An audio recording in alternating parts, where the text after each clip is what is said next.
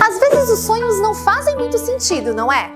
Essa semana eu tive um sonho que foi estranho e despertou a minha curiosidade.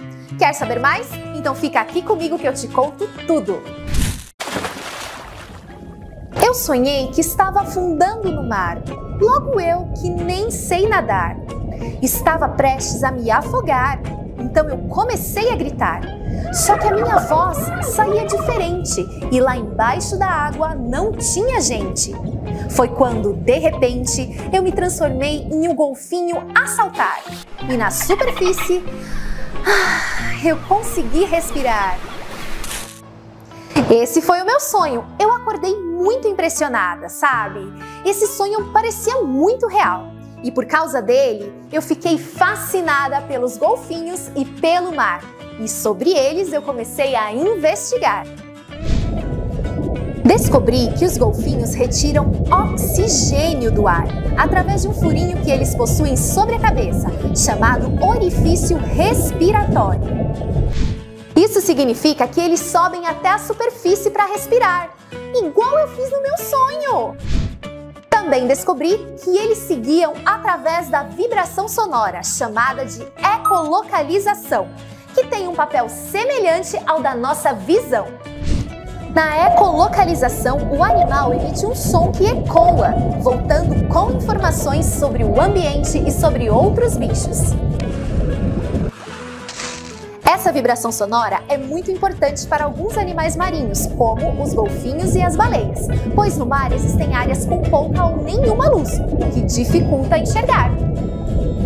E sabe o que foi mais interessante que eu descobri? Apesar de parecer silencioso, o mar possui diferentes sons, pois é um lugar que abriga muitas formas de vida. Pode acreditar, o som precisa de um meio para se propagar, e esse meio pode ser gasoso como o ar, líquido como o mar ou até mesmo sólido como o chão.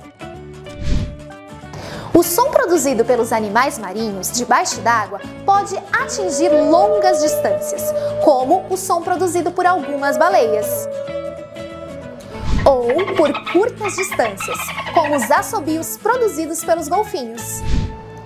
Bom, e você se lembra que no meu sonho eu gritava e gritava e a voz saía diferente quando eu estava dentro do mar? Isso também acontece na vida real. A nossa voz fica diferente dentro da água, porque na água o som se propaga mais rápido que no ar. É, dá para fazer um muito barulho debaixo d'água. Inclusive, os ruídos que produzimos nos oceanos, como o barulho emitido pelos motores de embarcações, podem prejudicar a vida marinha. Por exemplo, o som produzido pelos barcos pode acabar desnorteando as baleias, por interferir na ecolocalização desses animais. Pois é, Além do lixo na água, eu descobri que poluímos os oceanos com ruídos sonoros. Bom, eu espero que você tenha gostado do meu sonho e das coisas que eu descobri. E você, continue nesse desafio e até a próxima!